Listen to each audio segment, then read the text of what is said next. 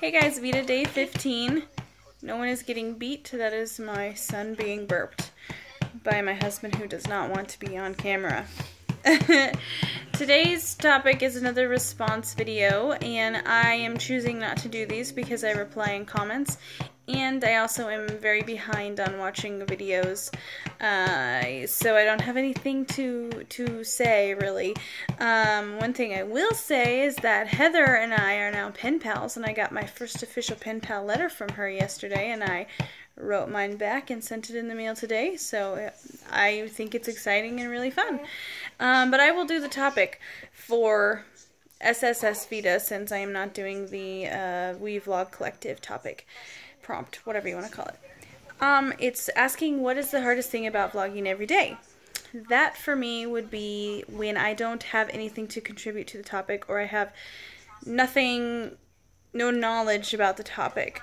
Um, for example, yesterday, it was apparently something to do with Harry Potter. I have seen Harry Potter, but I didn't care for it. I am not into it, so I remember almost nothing about the movie or the books. I know they're books, but I definitely didn't read it. But I did, um, oops, hi baby. Pacifier fell out. But I mean, I had nothing to contribute, so I have to come up with my own vlog, and I'm not a constant vlogger all the you know all the time. I don't think anyone really cares what's going on every day, 365 days a year with my life. Uh, if they do, they can probably just look on Facebook. So that's probably the hardest thing is coming up with something to vlog about every day when the topic doesn't pertain to me or I know nothing about it.